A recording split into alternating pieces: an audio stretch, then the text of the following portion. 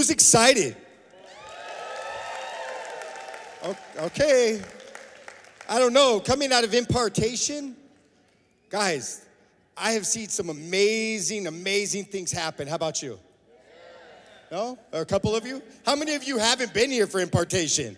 I'm just saying, I'm super fired up with everything that I've got to witness. And tonight is not an exception. As we're coming out of impartation, this is like the greatest movement that could take place tonight is to have people giving their lives and submitting them to Christ.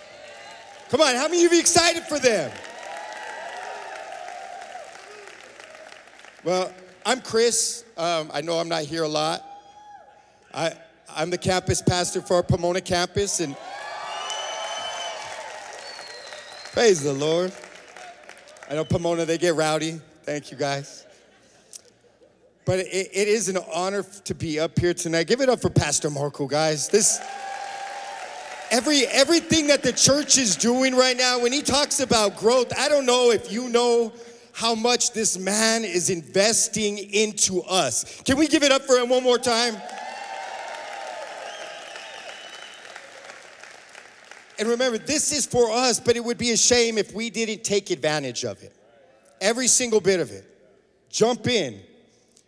Uh, talking, I'm going to talk about baptism just very quickly before we get to the testimonies because I just want you to know my heart really quick. Baptism for me is literally where my life changed. I know a lot of you know my testimony, but I, I have to tell you this. If, if I were to pinpoint the exact moment that my life changed, it was in the water. And I'm not kidding, my wife could tell you.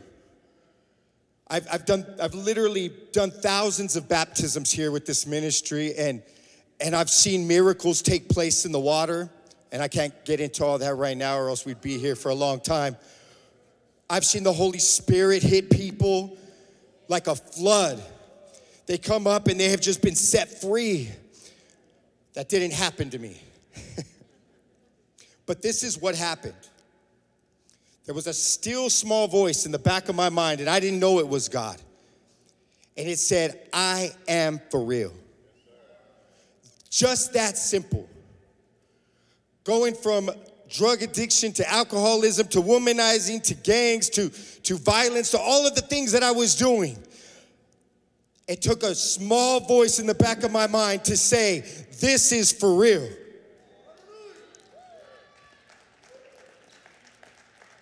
I think it's exciting to me because I was there, I was a part of it but there's gonna be lives that are gonna be transformed in this water today. Maybe there's even doubt in that water today, but we're believing that there's gonna be transformation that is gonna take place tonight.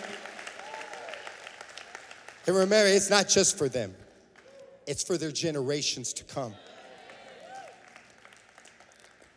So, with that being said, I want you to, to, to just look around and see the excitement that's taking place tonight.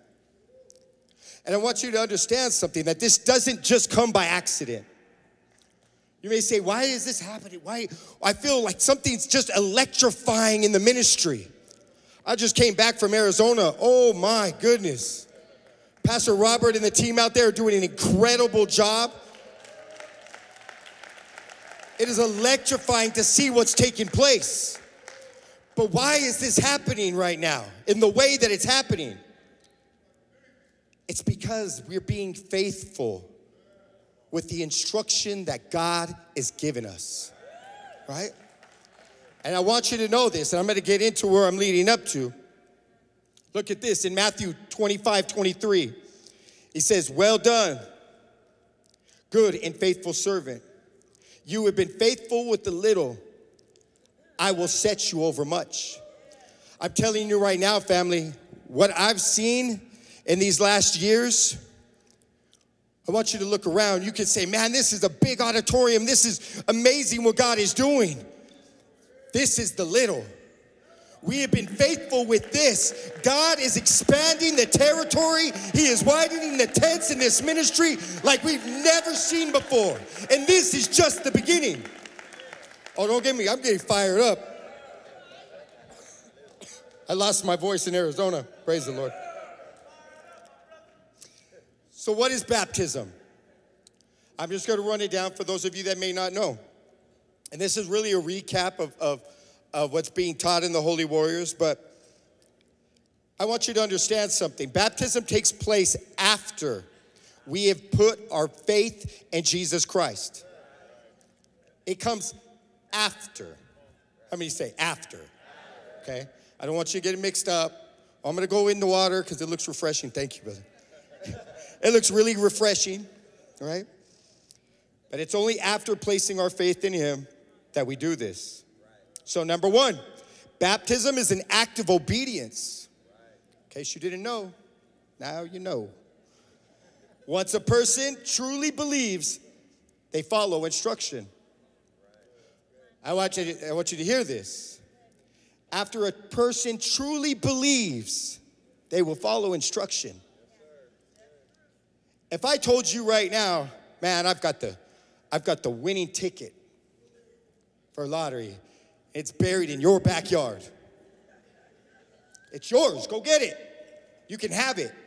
It's the winning numbers. I'll, I'll recite it, everything. What takes place next? Action, right? You believe that it's there, so you're gonna go run and you're gonna do it. It take, it, it, there's action that takes place after you believe, right? We got it? So we're not following, I want you to get this really clear, guys. We're not following our feelings or emotions on this one. I've heard this too many times. I just, I don't, I don't feel it right now. I, I know, I know what the scripture says, and I know what Jesus said, but I just don't feel it. I'll wait and I'll pray. Pray about this. Let me tell you right now, when God is speaking to you, you don't have to sit down and pray, you just do it. Here we go. Sorry, guys. I know I go hard sometimes. But we follow instruction. This is not a wait moment. God says, Do you believe? Get saved? Put your faith in me? Get baptized. This is your next step. Some of us are jumping. Right? Oh man, I'm in all this ministry.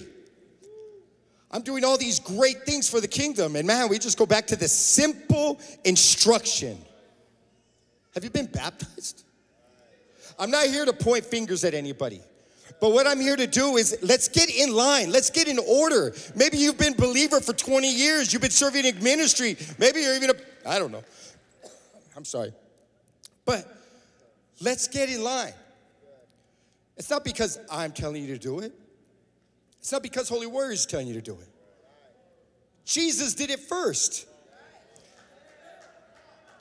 in Acts 2:20 or 2:38 it says this Peter replied each of you must repent say must must repent of your sins and turn to God and be baptized in the name of Jesus Christ for the forgiveness of your sins he didn't say if you feel like it he said you must so number 2 baptism, baptism is, a, is symbolic of the death burial and resurrection okay if you're wondering why do we do that? Check it out. I'm gonna tell you.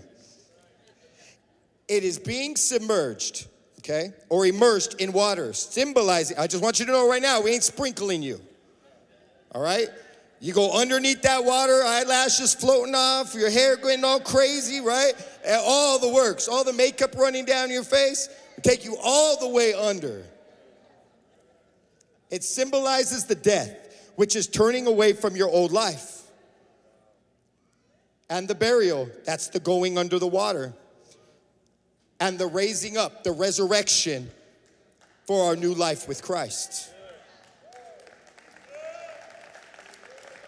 In Romans 6 4, it says, For we died and were buried with Christ by baptism. And just as Christ raised from the dead by the glorious power of the Father, now we also may live new lives. I put an emphasis on power. There was absolutely no way that I could live this life. when me and my wife came, I just dove in, right? And I just, I, I did what the Bible said. Just like a child, I didn't know what to do. I didn't even know, really know how to read the Bible. In fact, Pastor Marco has said, get your Bible, read a Bible, highlight your Bible, do this, do this, do this, what you do. Guess what I did? Step by step instruction. You should see my first Bible. I, he never said like highlight certain parts. I highlighted every single word that I read. I still got the Bible, I'm not kidding you.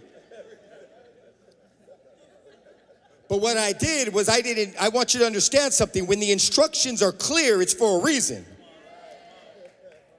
Some of us, like I said, we start taking leaps and bounds, and oh my goodness, and we, we, we miss the step. And he says, Slow down, son.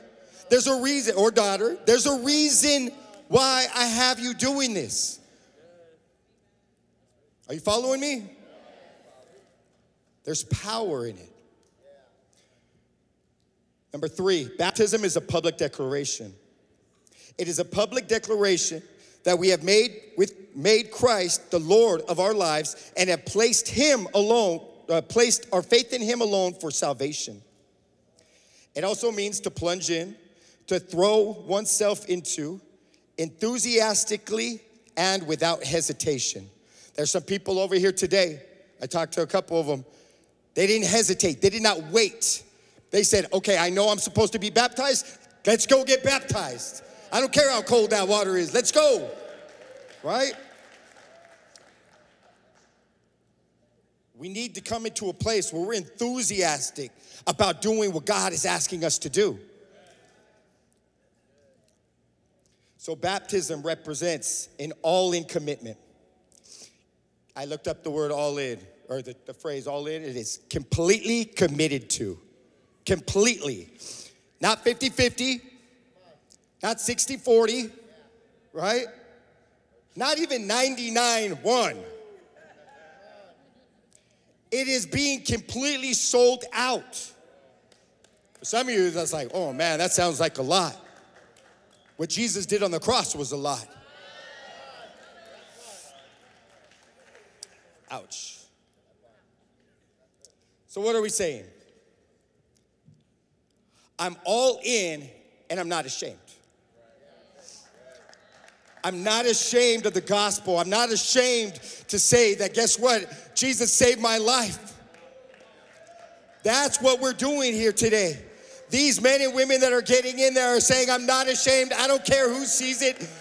I know for my baptism, I invited some worldly people. I'm not ashamed. So, those are my three points, but I want to, I've got this extra. And if you're taking notes, it's the power in obedience. There's power in obedience. And with the two minutes that I have left, we're going to run through this. Following God's instructions can bring change in your life when nothing else could. It is not enough to just say that I know what to do. We have to apply it. In James 1:22 it says, "But don't just listen to God's word.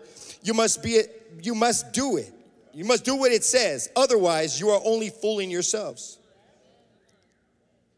I didn't begin to change. I didn't have the power to change until I was filled with the Holy Spirit. That moment that I came out of the baptismal, I was filled with the Holy Spirit, and it gave me the power to walk out this life.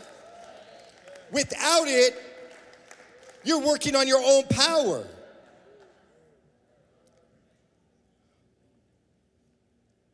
I'm going to leave off with this scripture in Matthew 3, 13, 17. And it says this When Jesus went to Galilee to the Jordan River to be baptized by John, but John tried to talk him out of it. I am the one that needs to be baptized by you, he said. So why are you coming to me? Verse 15. But Jesus said, It should be done, for we must carry out all that God requires. You caught that, right? All that God requires. Jesus himself, we think, you don't need to be baptized, you're sinless. Why do you think he did it? Because there was gonna be a group of people that said, Jesus didn't do it. I don't have to do it, right? But he did it to set the example. says this So John agreed to baptize him. After his baptiz- baptism, as Jesus came up out of the water, the heavens were opened, and, the, and he saw the Spirit of God descending like a dove and setting on him. And a voice from heaven said this This is my dearly, my be- dearly beloved Son, and who brings me great joy. I want you to see the significance in what took place at this baptism. Nowhere else in scripture except in creation does it show at the same time that Jesus, the Father, and the Holy Spirit are all spoken about in the same verse. And it was at Jesus' baptism. When Jesus said, I will walk in obedience to what the Father said, the Father's voice spoke. The Holy Spirit rested upon him. I want you to understand something that when we walk in obedience to God's word, there is power that comes with it. God Himself is backing us. Amen? So, right now, this moment, and we're gonna pass it over to Christian, I want this is a, a day of celebration for those that are, re, that are committing their lives to Christ.